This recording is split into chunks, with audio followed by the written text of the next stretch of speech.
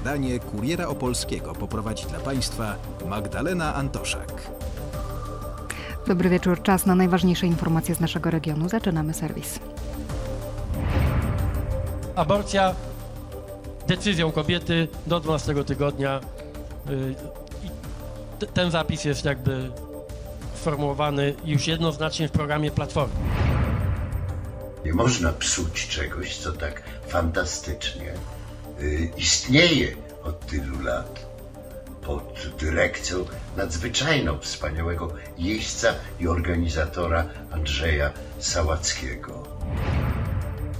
samorządy terytorialne na rozwój infrastruktury drogowej w żadnym roku tak de facto, już nie mówiąc o naszych poprzednikach, nie mogły marzyć nawet o tego typu e, środkach.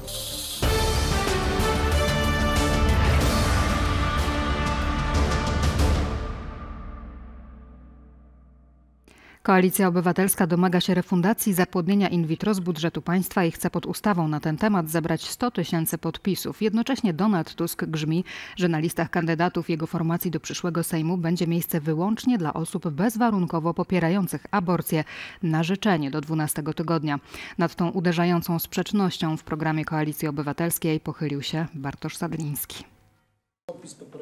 Roczny budżet, z którego wypłacane byłyby środki na przeprowadzenie trzech prób zapłodnienia in vitro przez każdą zainteresowaną parę, miałby wynosić pół miliarda złotych. Sprawa jest bardzo poważna, bo dotyczy półtora miliona par, dotyczy ponad 20% In vitro jawi się politykom Koalicji Obywatelskiej jako oczywisty środek zaradczy. Wszystkich światłych, mądrych i empatycznych obywateli Opolszczyzny zapraszam do punktów, które wyznaczymy, aby złożyć swój podpis. Tymczasem nie brakuje światłych ludzi, którzy w kwestii zapłodnienia pozaustrojowego, a dokładniej tworzenia nadliczbowych embrionów zgłaszają wątpliwości etyczne.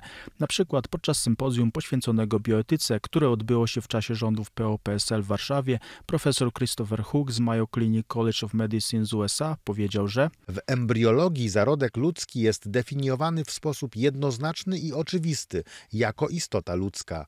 Dlatego też powinien podlegać takim samym prawom, jakie regulują badania z udziałem ludzi. Dodatkowo włoski prawnik, filozof i polityk profesor Rocco Buttiglione zaznaczał wówczas, iż Włoska ustawa dotycząca in vitro jest najlepszą tego typu regulacją w Europie. Dopuszcza ona zapłodnienie pozaustrojowe tylko dla małżeństw. W tym celu można tworzyć jedynie trzy embriony, które trzeba wprowadzić do organizmu kobiety.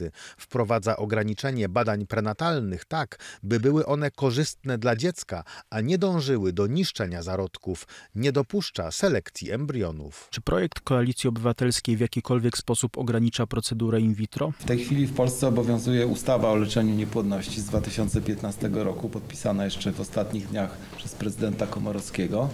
I ona tutaj właśnie limituje, w Polsce dziecko ma prawo, musi mieć dwóch heteroseksualnych rodziców, także nie możemy robić samotnym matkom e, in vitro. Są oczywiście względy medyczne, więc to muszą być kobiety, które są e, płodne, zdrowe na tyle, Na pytanie o to, czy nowe prawo limitowałoby tworzenie embrionów oraz Jak to się ma do postulatu jednak rozszerzenia dostępu do aborcji? otrzymaliśmy ogólną odpowiedź. Jest to bardzo krótka ustawa umożliwiająca finansowanie wszystkim obywatelom, wszystkim kobietom, wszystkim mężczyznom finansowanie udziału w tym programie. Tymczasem, jak zapowiedział Donald Tusk podczas kampusu Polska, Aborcja decyzją kobiety do 12 tygodnia. y, I ten zapis jest jakby sformułowany już jednoznacznie w programie Platformy. Bartosz Sadliński, Kurier Opolski. Jeżeli radni polskiej Cerekwi nie pójdą po rozum do głowy i nie przedłużą współpracy z Ludowym Klubem Jeździeckim Lewada, Daniel Olbrychski zrzeknie się honorowego obywatelstwa tej gminy. Jeden z najsłynniejszych polskich aktorów zapowiedział taki krok na wieść o próbie odebrania Lewadzie prawa użytkowania stworzonego dla tego klubu ośrodka jeździeckiego w Zakrzowie. Doszła mnie zdumiewająca wiadomość, mianowicie, że istnienie fantastycznego klubu jeździeckiego Lewada jest zagrożone. Jeżeli rzeczywiście decyzja radnych y, gminy Polska Cerekiew dojdzie do skutku, to zdumiewająca zupełnie decyzja, to mnie, honorowemu członkowi, obywatelowi, tej gminy, z którego to obywatelstwa byłem niezmiernie dumny. Nie pozostanie inna y, uczciwa i logiczna decyzja, jak z głębokim żalem zrezygnować z tego obywatelstwa. No nie można psuć czegoś, co tak fantastycznie y, istnieje od tylu lat pod dyrekcją nadzwyczajną wspaniałego jeźdźca i organizatora Andrzeja Sałackiego. Brzeski radny Wojciech Komarzyński zasiadał w kapitule, która dekadę temu poparła wniosek o nadanie honorowego obywatelstwa miasta Stanisławowi Gawłowskiemu, politykowi Platformy Obywatelskiej. Teraz radny twierdzi, że jest skonsternowany faktem, iż honorowym obywatelem jego miasta jest główny bohater afery melioracyjnej, oskarżony o ogromną korupcję. Komarzyński miota też zarzuty o bezczynność w tej kwestii wobec burmistrza Jerzego Wrębiaka. Włodarz przedstawia sprawę zupełnie inaczej. Maciej Dobrzański. Afera melioracyjna to nie jedyna skaza na życiorysie senatora Platformy. Wątpliwości budziło też autorstwo doktoratu Stanisława Gawłowskiego, a w 2018 roku media donosiły o agencji towarzyskiej, jaka miała funkcjonować w wynajmowanym przez niego mieszkaniu. Jakby tego było mało na tzw. Tak taśmach Usowy, były minister kpił z osób narodowości żydowskiej. Dla części radnych nadanie Gawłowskiemu w 2012 roku tytułu godzi w powagę miasta, e, jeśli osoba e, tutaj e, z takimi okolicznościami okolicznościami tutaj posiada taki tytuł.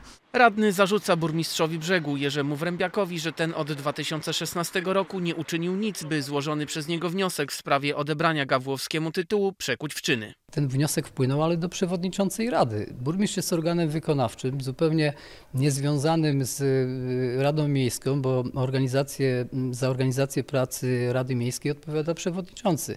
Ja nie wiem, dlaczego pani przewodnicząca poprzedniej rady nie skierowała ten wniosek do dalszego trybu procedowania, natomiast na pewno nie jest to e, spowodowane niechęcią burmistrza. Włodarz wskazuje, że przewodniczący kapituły, która nadaje i może odebrać tytuł honorowego obywatela, wybierany jest na każdym jej posiedzeniu i nie jest to funkcja przypisana burmistrzowi. Podkreśla też, że za kandydaturą Gawłowskiego w 2012 roku podczas obrad kapituły głosował sam Wojciech Komarzyński. Ja nie byłem wówczas członkiem kapituły. E, tutaj zastępując jednego z przewodniczących byłem zobowiązany jego pełnomocnictwem. Radny zaznacza również, że był jedyną osobą, która już podczas głosowania na sesji Rady Miejskiej nie poparła kandydatury Gawłowskiego. To była jedna osoba, która y, prawdopodobnie się wstrzymała. Pan Komarzyński mówił, że to był on, natomiast takich osób mogło być 21, dlatego że protokoły w tym czasie nie były imienne. Dopiero od y, dwóch kadencji protokoły są imienne. Postać skompromitowanego senatora i byłego ministra Platformy Obywatelskiej to wśród honorowych obywateli brzegu swoisty słoń w składzie porcelany, bo jest w tym gronie między innymi Kurt Mazur, jest pan Jan Milun, czy jest pan y, były dyrektor y, naszego brzeskiego zamku, Muzeum Piastów Śląskich. Jeżeli taka sytuacja będzie miała miejsce, że ta osoba zostanie skazana, zostanie skazana prawomocnym wyrokiem, to y, nie ma najmniejszych szans, żeby ta osoba pełniła, miała dalej taki tytuł. Wyrok w sprawie afery melioracyjnej ma zapaść w przyszłym roku. Maciej Dobrzański, Kurier Opolski. W Dobrodzieniu oddano dziś do użytku ostatni już odcinek zmodernizowanej ulicy księdza Jana Gładysza. W realizacji tej ważnej dla mieszkańców inwestycji pomogły pieniądze z Rządowego Funduszu Rozwoju Dróg. O szczegółach Maciej Wójtowicz. Zwieńczenie wieloletniej inwestycji. W Dobrodzieniu oddano dziś do użytku ostatni 300-metrowy odcinek zmodernizowanej ulicy księdza Gładysza. Przebudowa tego krótkiego, lecz istotnego odcinka kosztowała prawie 2,5 miliona złotych. Większość, bo niemal 1 700 tysięcy pochodziło z Rządowego Funduszu Rozwoju Dróg. 3, 2, 1, 0 i start. Tak. Samorządy terytorialne na rozwój infrastruktury drogowej w żadnym roku tak de facto, już nie mówiąc o naszych poprzednikach, nie mogły marzyć nawet o tego typu e, środkach, o tak wysokich środkach, jakie teraz trafiają i skutecznie są wydawane przez samorządy w całym województwie opolskim. Celem władz gminy było doprowadzenie drogi do standardów europejskich. Remont obejmował więc nie tylko wymianę nawierzchni, ale też m.in. budowę nowej kanalizacji, chodników czy systemu oświetlenia. Wszystko to ku zwiększeniu bezpieczeństwa mieszkańców. Są wydzielone miejsca do parkowania, bo to zawsze pada pytanie, czy będzie gdzie parkować. Yy, I wiadomo, że mieszkańcom będzie łatwiej, chodniki są szerokie, będzie można spacerować niedaleko kościół, cmentarz. Tutaj się po prostu yy, tym, tą drogą dużo spaceruje i, i ona pod tym względem jest bardzo ważna. Zapytaliśmy mieszkańców, jak oceniają nową ulicę Księdza Gładysza. Droga jest oczywiście super dojazd do sklepów. No i można przyjeżdżać, przyjechać gdzieś bokiem, na, do cmentarza przede wszystkim, nie? Trochę za szerokie chodniki, ale, a droga za wąska, ale jakoś się na pewno przysłuży. Czy jest to przydatna inwestycja? No na pewno. Tak długo czekali na takie wyrwy tam były, nie? W drodze. Super, że miasto się rozwija, że robi coś nowego. Na pewno ludziom to jest potrzebne. Gmina Dobrodzień pragnie dalej modernizować swoją infrastrukturę. W planach są już kolejne inwestycje. Maciej Wójtowicz, Kurier Opolski. Oglądają Państwo Kurier Opolski, a my zaglądamy teraz do naszego redakcyjnego serwisu y, internetowego. Zapraszam. Jak informuje portal opoletvp.pl, w lesie na terenie powiatu opolskiego zatrzymano mężczyznę, który udał się po znajdujące się tam narkotyki. Zamaskowane skrytki jednocześnie były magazynem zawierającym m.in. 200-litrową beczkę wypełnioną roztworem klefedronu, przeszło 5 kg substancji psychotropowej 4-CMC, 12 kg amfetaminy oraz ponad 8 litrów aminy, czyli płynnej amfetaminy. Funkcjonariusze przejęli także równowartość niemal 600 tysięcy złotych w różnej walucie oraz zabezpieczyli pojazdy podejrzanego, który został aresztowany na trzy miesiące.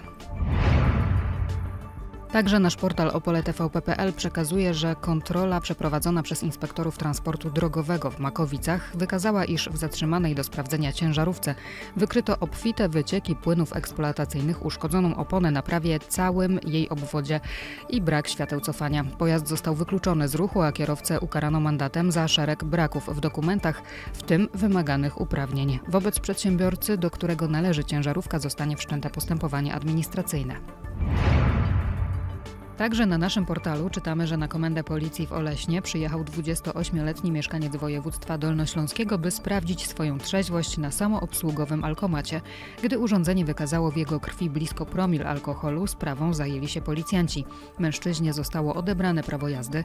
Postawiono mu też zarzuty jazdy pod wpływem alkoholu. Co ciekawe, obok pijanego kierowcy siedział całkowicie trzeźwy pasażer, który posiadał prawo jazdy i mógł go przywieźć na test trzeźwości. Kasety okulistyczne ułatwiające diagnozę, nowe meble i sprzęt do terapii widzenia to najnowszy nabytek dziecięcej poradni okulistycznej Uniwersyteckiego Szpitala Klinicznego w Opolu. Zakupienie nowego sprzętu było możliwe dzięki zorganizowanemu przez Centrum Handlowe w Opolu Zawadzie charytatywnego rajdu rowerowego. Natalia Janus-Kempel. Dziecięcą poradnię okulistyczną Uniwersyteckiego Szpitala Klinicznego w Opolu codziennie odwiedza kilkanaścioro dzieci, którym trzeba dobrać okulary korekcyjne. Kasety okulistyczne, które otrzymała poradnia, znacznie ułatwią diagnozę. W kasetach znajdują się próbne szkiełka korygujące wady wzroku, krótkowzroczność, nadzwroczność i astygmatyzm, a w tej kasecie dla dzieci młodszych znajdują się także oprawki o odpowiednim rozstawie, no co znacząco ułatwia nam pracę. Poradnia jest także bogatsza o nowe meble i sprzęt do terapii widzenia.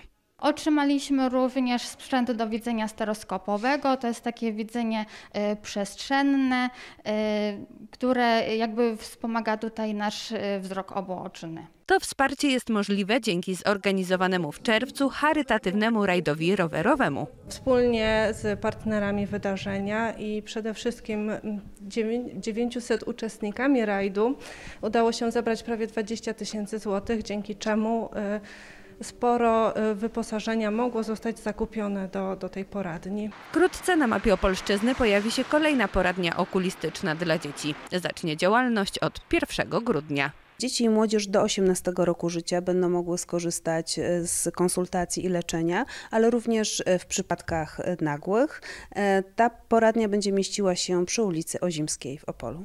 Aby móc z niej skorzystać w ramach ubezpieczenia zdrowotnego, potrzebne będzie skierowanie. Natalia Janus-Hempel, Kurier Opolski. To może być wielka sportowa szansa dla uczniów z naszego regionu. W województwach opolskim i lubelskim ruszył pilotażowy program wsparcia dla nauczycieli wychowania fizycznego, którego celem jest wyławianie młodych sportowych talentów spośród uczniów. Dziś w Opolu odbyła się konferencja inaugurująca tę inicjatywę. Relacja Kamili Korzeniowskiej. W województwie opolskim nie brakuje sportowców, którzy zrobili wielką karierę. To m.in. siatkarz Kamil Semeniuk, który obecnie podbija ligę włoską, a wcześniej występował w grupie Azoty Zaksie Kędzierzyn-Koźle. Jest m.in. dwukrotnym zwycięzcą Ligi Mistrzów i trzykrotnym mistrzem Polski. Kolejną postacią zapisaną już na stałe w historii polskiego sportu jest pochodzący ze Strzelec Opolskich Sławomir Szmal. Z reprezentacją Polski w piłce ręcznej sięgnął m.in. po trzy medale Mistrzostw Świata. Grając tutaj nieopodal w Zawadzkim na Opolszczyźnie, e, wybicie się do reprezentacji to było wielkim osiągnięciem. Trzeba było mieć mało tego jakiś talent, do tego trzeba było być zauważonym, a to, to było bardzo trudne. Akurat ten program temu pomoże. Dlatego również sam sportowiec zaangażował się w pomoc w rozwijaniu i odkrywaniu talentów wśród uczniów, zostając ambasadorem programu, którego celem jest odkrywanie najbardziej utalentowanych sportowo uczniów.